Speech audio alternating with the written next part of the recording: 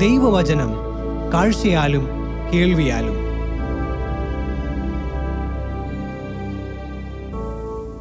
ആവർത്തന പുസ്തകം ഇരുപത്തിയേഴാം അധ്യായം.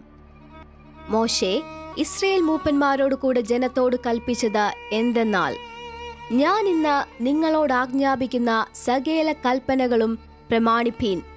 നിങ്ങൾ യോർദാൻ കടന്ന് നിന്റെ ദൈവമായ ഹോവ നിനക്ക് തരുന്ന ദേശത്ത് എത്തുന്ന ദിവസം നീ വലിയ കല്ലുകൾ നാട്ടി അവയ്ക്ക് കുമ്മായം തേക്കേണം.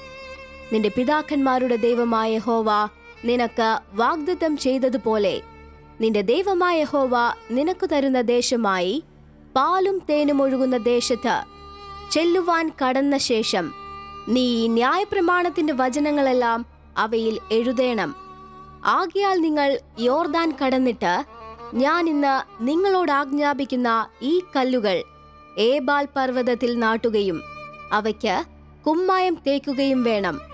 അവിടെ നിന്റെ ദൈവമായ ഹോവയ്ക്ക് കല്ലുകൊണ്ടൊരു യാഗപീഠം പണിയണം. അതിന്മേൽ ഇരുമ്പ് തൊടുവിക്കരുത്. ചെത്താത്ത കല്ലുകൊണ്ട് നിന്റെ ദൈവമായ ഹോവയുടെ യാഗപീഠം പണിയണം. അതിന്മേൽ നിന്റെ ദൈവമായ ഹോവയ്ക്ക് ഹോമയാഗങ്ങൾ അർപ്പിക്കണം.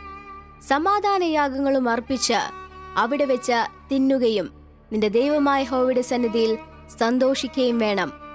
ആ കല്ലുകളിൽ ഈ ന്യായപ്രമാണത്തിന്റെ വചനങ്ങളൊക്കെയും നല്ല തെളിവായി എഴുതേണം. മോശിയും ലേവിരായ പുരോഹിതന്മാരും എല്ലാ ഇസ്രയേലിനോടും ഇസ്രയേലെ മിണ്ടാതിരുന്നു കേൾക്ക. ഇന്നു നീ നിന്റെ ദൈവമായ ഹോവയുടെ ജനമായി തീർന്നിരിക്കുന്നു.